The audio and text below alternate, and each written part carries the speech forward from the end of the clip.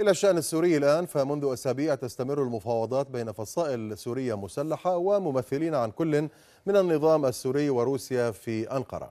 وبين يوم وآخر تتسرب تفاصيل عما يجري وراء الكواليس. الأبرز فيها مقترح روسي لوقف إطلاق نار شامل في سوريا يستثني النصرة وداعش ويفضي إلى عملية سياسية. آخر المستجدات جاءت من أنقرة التي قالت إنها وموسكو توصلتا إلى تفاهم تطبيقه قريب جدا ويفترض أن يبدأ خلال ساعات لكن موسكو أبدت استغرابها لأن ما لديها من معلومات بشأن الموضوع غير كافية. غموض أقرب للتضارب في هذه التصريحات يوحي بأن كل طرف يحاول فرض رأيه على مجريات التفاوض التي تسبق مؤتمر أستانا أو يظن أنه حقق ذلك.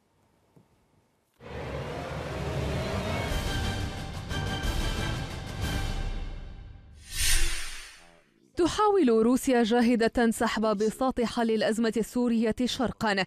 حتى اللحظة يمكن القول إنها نجحت في تجهيز طاولة المفاوضات في أستانا وإزاحة شريكها وندها الأمريكي من دفة إدارة الأزمة. لكن العقبة الكبرى أمامها هي إقناع الحضور. صحيح أن موسكو حددت لائحة المدعوين وأرسلت الدعوات لكن الاستجابة ليست بيدها. بدأ إعلان الاتفاق التركي الروسي مؤشرا إيجابيا على تقدم سلس للخطة الروسية خاصة وأن روسيا ضمنت حليفا مهما في المعسكر الغربي وحلف الناتو إلى جانبها كيف لا؟ وتركيا رأت كفة مصالحها أثقل شرقا بعد أن تهاونت واشنطن في التعاطي مع الأزمة السورية حتى أنها ساندت الأكراد أعداء أنقرة لكن تغير موازين القوى هذا الذي رحبت به حتى المعارضة المستثناة من اجتماع أستنا المتمثلة في هيئة المفاوضات السورية قد لا يدوم طويلا. على الأقل حتى تتسلم إدارة ترامب زمام الأمور ويتضح خيرها من شرها في الملفات الدولية على رأسها سوريا. لكن حتى ذلك يتوسم كثيرون اليوم خيرا في التقارب والاتفاق التركي الروسي.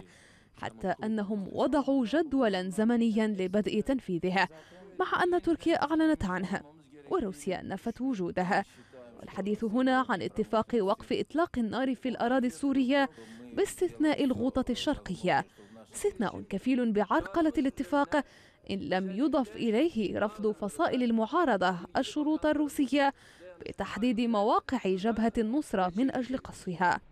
إيران التي استثنيت من الاتفاق الروسي التركي بشأن إجلاء سكان شرق حلب.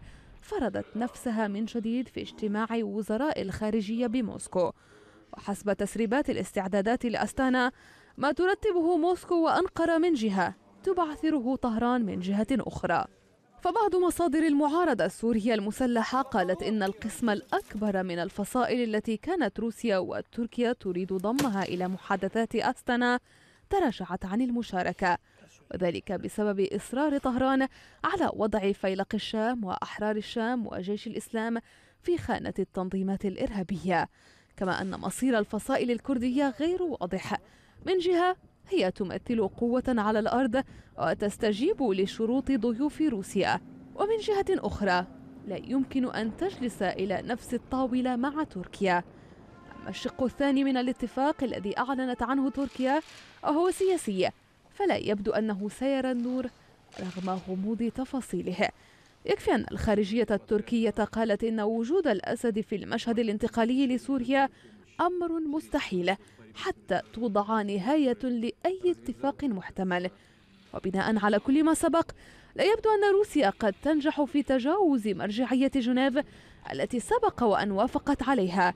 بل يبدو أن روسيا تعي جيدا أنه بالشروط والتوافقات الحالية لا يمكن الخروج من أستانا باتفاق قابل للتنفيذ. لكن موسكو لم تحدث هذه الجعجعة دون طحين وواشنطن لن تتفرج عليها وهي تحصد ما ظنت أنها تزرعه منذ سنوات. كل يوم إذا تتكشف تفاصيل جديدة عن المفاوضات الجارية في أنقرة بين ممثلين عن الفصائل السورية المسلحة وممثلين عن النظام السوري وروسيا. آخر ما رشح من هذه المفاوضات يجملها لنا الآن يوسف. يوسف واضح أن هناك على الأقل تصريحات تبدو متضاربة. الأتراك يقولون هناك وقف لإطلاق النار. سيبدأ هذه الليلة. الروس لا علم لهم بهذا الأمر. ودمشق تقول أنه ما سيتم التوصل إليه في أنقرة سيعرض على الحكومة السورية اولا من أجل أن توافق أو ترفض، فيعني التصريحات فعلا متضاربة مهند، لكن آه، قالت مصادر عسكرية في المعارضة السورية المسلحة لسكاي نيوز عربية أن عددا من ممثلي الفصائل في أنقرة تسلموا مسودة قرار لوقف إطلاق النار في سوريا يتضمن البنود التالية. على الأغلب هذه المسودة آه، التركية. وقف إطلاق نار في كل الأراضي السورية لا يشمل المقرات العسكرية لداعش في المناطق التي تسيطر عليها ويستمر باستمرار العملية السياسية. آه، تضمن تركيا التزام المعارضة السورية في كل المناطق الخاضعة لسيطرة المعارضة بوقف كامل لإطلاق النار يشمل كامل أنواع القصف أيضا.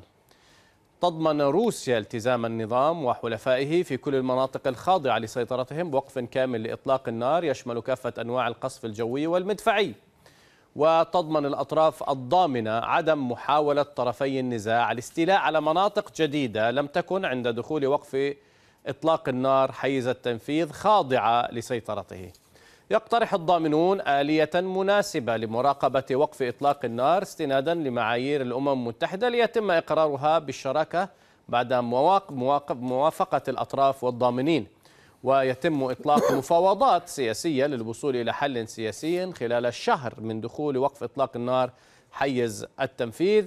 وفي هذا الإطار في خلال هذا الشهر إدخال المساعدات الإنسانية إلى جميع المناطق المحاصرة وفق خطة تضمن كل من الدولة التركية وروسيا الالتزام الكامل بتنفيذها. إذا مهند هذه البنود الأساسية لكن طبعا في مطالب للمعارضة كما ذكرنا حتى بالأمس اللي هي يعني تضمين حي الوعر ومناطق في حمص وأخرى. ويبدو أنه الموضوع الذي تحاول أنقرة فرضه أنه وقف إطلاق النار وتثبيت كل طرف في مكانه وإدخال مساعدات حتى الذهاب إلى حل سياسي. مسألتان المسألة الأولى الحديث عن مناطق يسيطر عليها داعش لا تدخل ضمن وقف إطلاق النار هذا ولكن المناطق التي تخضع التي توجد فيها عناصر النصرة جبهة فتح الشام مشمولة ضمن اتفاق وقف إطلاق النار. هذا الحديث نفسه كان تركيا تتحدث عنه في أول مفاوضات عن حلب إذا كنت تذكر والروس رفضوه في ذلك الوقت وقالوا بضرورة الفصل بين النصرة وبقية الفصائل. دعنا نسأل ضيفنا من بيروت عن بعض هذه القضايا. معنا الآن من بيروت الكاتب والباحث السياسي جاد يتيم. جاد مساء الخير. مرحبا بك معنا من جديد في غرفة الأخبار.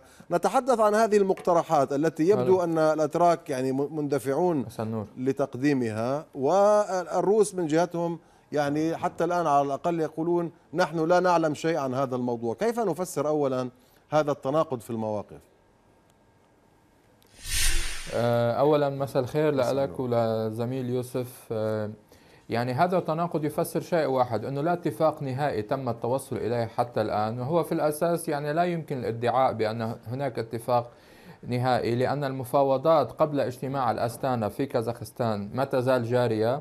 في أنقرة مجموعة من الفصائل التي دعاها الأتراك إلى أنقرة وهؤلاء يجتمعون بشكل مباشر مع الممثلين يعني ممثلي الدولة التركية سواء في الخارجية أو في المخابرات. ومن ناحية ثانية هناك اجتماعات مباشرة بين الروس والأتراك كذلك في أنقرة. ليس على حد علمي هناك ممثلين على النظام. النظام في أنقرة. نعم. آه، الأمر الثاني بصراحة المسودة التي رأيناها يعني هي تتضمن شقين. في شق منها هي لا تتخطى القرار 2254 يعني لحتى الآن بعدنا عم نحكي نحن في آليات وقف إطلاق النار إدخال المساعدات عدم تقدم بعد في يعني كسب أراضي بعد وقف إطلاق النار فهي بالتالي حتى هلأ ما دخلت في آه، وضع شكل التسوية السياسية أو المرحلة الانتقالية. ولكن اللافت فيها هو أمران أنه أن من يتحدث باسم المعارضة السورية هو تركيا. ومن يوقع هذه المسودة أو هذا الاتفاق عن طرف النظام نظام الأسد هو روسيا وروسيا تقول أنها تضمن الأسد وتضمن إيران في التطبيق. والجديد هنا أن روسيا التي عانت لكي تستطيع فرض إرادتها على إيران وميليشيات الأسد والميليشيات الشيعية في حلب لفرض اتفاق جزئي هل ستستطيع تحقيق ذلك في على في يعني على كل الأراضي السورية؟ هنا سؤال رقم واحد. السؤال رقم اثنين أعتقد أن نسبة نجاح وقف إطلاق النار إذا تم الاتفاق عليها هذه المرة ولمدة شهر هي بالتأكيد أعلى من مما سبق لأنه في واقع سياسي مستجد نجحت الدبلوماسية التركية في فرضه وهو جلوس يعني خلال مفاوضات حول شرق حلب تم جلس الروس مباشرة مع فصائل كانوا يصنفونها على أنها فصائل إرهابية مثل أحرار الشام وغيرها. وطبعا يعني هم تخلوا عن هذا التصنيف بالنسبة للأحرار بالنسبة لجيش الإسلام وغيرها. وهنا نرى أن الخلاف سيقع وهو وقع بالفعل بين روسيا من جهة وإيران ونظام الأسد من جهة أخرى. طيب السؤال هذه الفصائل المدعوة لأنقرة هل فعلا ممكن أن توافق على هذا وقف إطلاق النار؟ لأن وقف إطلاق النار يعني بأنها لن تقاتل الجيش السوري وحلفائه. ربما سيكون هناك طلب منها أن تنضم لدرع الفرات وبالتالي تقاتل داعش وتقاتل الميليشيات الكردية. هل الفصائل هذه مستعدة لهذه الخطوة؟ أنا أنا أرى أولا أن هذه الفصائل بمجرد ذهابها إلى أنقرة هي مستعدة لذلك. وأساسا هي وقعت على أمر مماثل يعني هي وافقت في إحدى يعني الروس طرحوا عدة مقترحات خلال اجتماعات شرق حلب. إحداها أن تصدر فصائل المعارضة بيانا تعتبر فيه روسيا قوة محايدة وليست قوة مساندة للأسد. وقبلت هذه الفصائل ذلك. الفصائل تذهب إلى هناك بعضها يعبر عن تعب الناس على الأرض، بعضها إرادته يعني مرتبطة مباشرة بما تريده تركيا، ولكن الجميع وصل إلى قناعة بأن الناس على الأرض تعبت واساسا يعني تم تجفيف مصادر السلاح والمقاومة بالنسبة لهذه الفصائل إذا أرادت أن تتخذ خيارا آخر. هي بالتالي مستعدة لذلك. وأنا أرى إذا تم يعني إذا تم ترييح المكون السني في هذه العملية. هو أثبت أنه هو يعني الأكثر شراسة في قتال العنصر الكردي وكذلك العنصر الداعشي.